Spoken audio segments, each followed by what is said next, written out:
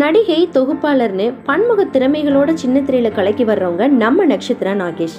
இவர் தற்போது விஜய் டிவியில் ஒளிபரப்பாகும் தமிழும் சரஸ்வதியுங்கிற சீரியல்ல தான் நடிச்சு வந்துட்டு இருக்காங்க சமீபத்தில் நட்சத்திரா தனது கணவர் ராகவோட ஜோடியாக ஆப்பிரிக்காவுக்கு இன்ப சுற்றுலா சென்றிருக்காங்கங்க. அங்கே கென்யாவில் மலைசாரா கிராமத்திற்கு சென்றுள்ள நட்சத்திராவும் அவரோட கணவரும் அங்கே வாழ்கிற பழங்குடியினர் மக்களோட சேர்ந்து புகைப்படங்களை எடுத்து ஷேர் பண்ணியிருக்கிறாங்க நமக்கெல்லாம்.